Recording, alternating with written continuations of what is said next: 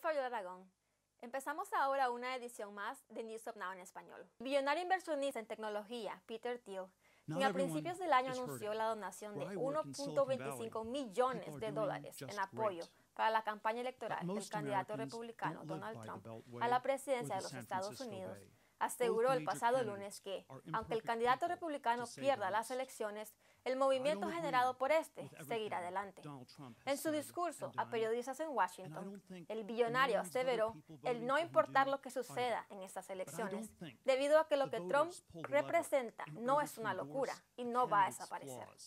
La estratega republicana Alice Stewart coincide con Thiel y asegura que el movimiento que rodea a Trump tendrá efectos duraderos en el Partido Republicano, sin importar si el republicano está liderando el movimiento o no. Thiel ha recibido una lluvia de críticas en Silicon Valley por su apoyo a la campaña de Donald Trump. El subsecretario de Asuntos Políticos de los Estados Unidos y experto en Latinoamérica, Tom Shannon, se reunió este lunes con el presidente de Venezuela, Nicolás Maduro, como parte de un esfuerzo para apoyar el diálogo entre el gobierno y la oposición en medio de un empase político cada vez mayor y un empeoramiento de la crisis económica.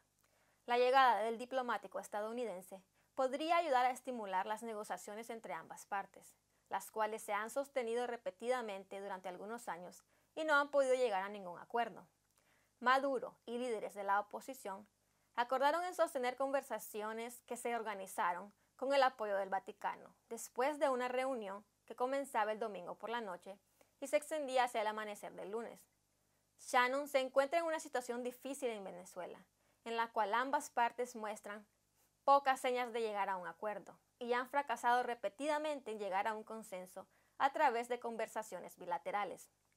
Investigadores federales han obtenido una autorización para examinar correos electrónicos recientemente descubiertos relacionados con la candidata demócrata Hillary Clinton.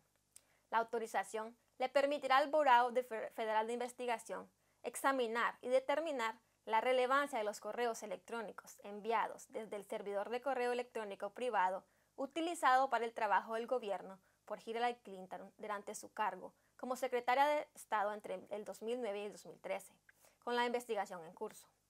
El director del FBI, James Comey, tuvo mucha presión de los demócratas para representar detalles de los correos rápidamente, ya que temen que la prolongada controversia oscurezca la transición de Clinton si llegara a ganar la presidencia.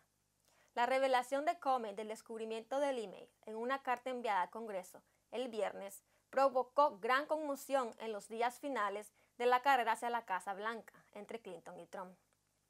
La líder demócrata del Senado, Harry, Harry Reid, envió una carta a Comey el pasado domingo, sugiriendo que violaba el Hatch Act el cual impide el uso de una posición del gobierno federal para influir en la elección.